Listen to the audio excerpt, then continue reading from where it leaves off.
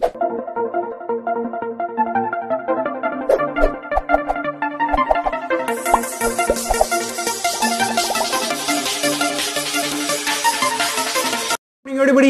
सभी का स्वागत करता हूँ फिजिक्स ज्ञान मुकेश नाइक चैनल पे।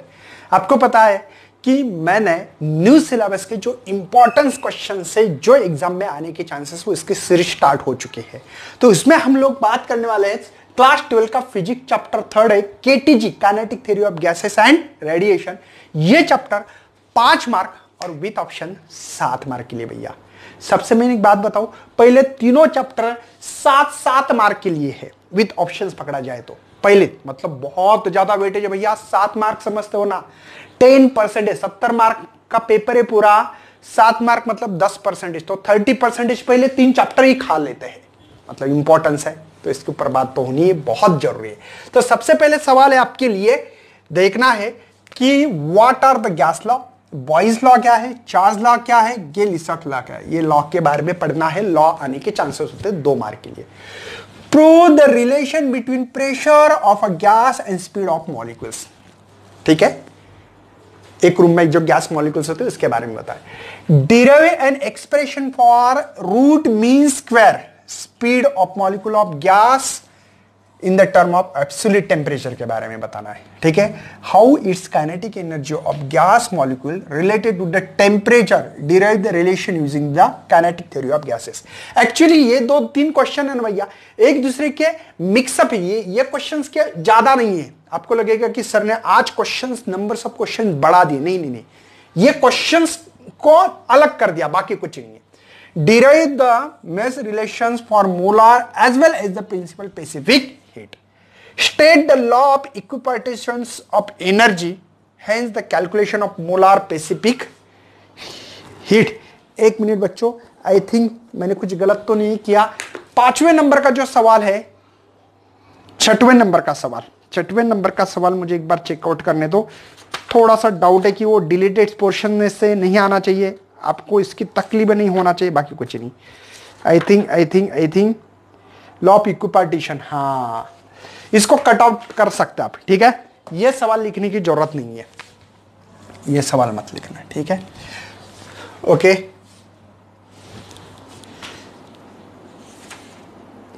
degree of freedom diatomic हाँ। करेक्ट है भैया। उसको कट कर देना, ठीक है ना? Degree of freedom diatomic degree of freedom में डायटमिक वो जो कट होना चाहिए था। सॉरी फॉर इनकन्वीनियंस नहीं नहीं नहीं नहीं नहीं मेर्स रिलेशन है क्या इसमें? Monatomic diatomic constant of constant pressure नहीं, होना चाहिए। सॉरी फॉर इनकन्वीनियंस होना चाहिए। सॉरी सॉरी कर दो। ठीक है? इसमें पॉली एटॉमिक एक करो। पॉली एटॉमिक ठीक है? क्योंकि इक्वी इक्विपार्टीशन क्वेश्चन कट हुआ था, इसलिए मैंने ये लिख के देने की कोशिश कर रहा था। इसलिए मैंने बोला, गलती नहीं होना चाहिए, बस बाकी दूसरा कुछ नहीं। है मैस रिलेशन है, वो है। ये क्वेश्चन है, ठीक है? सेवंथ है भैया define the coefficients of observation coefficients of reflection coefficients of transmission या A plus R plus T is equal to one observation reflection transmission is equal to one पता है ना? ये प्रूफ आता है कभी कभी प्रूफ क्वेश्चन देखो। मैं ये नहीं बता सकता कि क्वेश्चन कैसे आएगा। क्वेश्चन का हार्ट वही है ओनली उसको ड्रेस अलग अलग पहना आदमी वही है।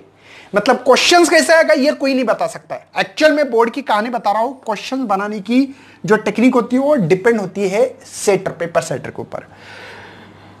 With a neat label diagram and explain the perfectly black body पता है ना, आप लोगों को परफेक्टली ब्लैक बॉडी ऐसे निकालते हैं हम लोग। याद होगा आप लोगों का ऐसे, यहाँ पे कोनिकल प्रोजेक्शन ये, इसकी बात कर रहा हूँ, ठीक है ना? ये ये। उसके बाद में ये जो है भैया, ये ग्राफ है ऐसे। पता है ना आप लोगों को, ये ग्राफ है। ये दोनों में spectrum distribution of perfectly black body radiation इसमें दोनों बच्चे, देखो ड्रॉ द लेवल डायग्राम इन दोनों सवाल पे सवाल आने के चांसेस होते हैं। बहुत बार आ चुका है आप लोग, कोई भी क्वेश्चन पेपर उठाओ, भैया पुराना सिलेबस हो तो क्या हुआ? लेकिन सवाल तो वही है चैप्टर वही है। स्टेट विंड डिस्प्लेसमेंट लॉ बहुत इंपॉर्टेंट देखो। एक, दो, तीन, चार, पाँच क्वेश्चन बहुत इंपॉर्टेंस है। और एक प्रूव ये प्रेशर वाला एक क्वेश्चन बहुत इंपॉर्टेंस है। हंड्रेड परसेंट इस पाँच सवाल में से दो सवाल तो आने वाले एक या दो सवाल तो आने वाले कौन सा?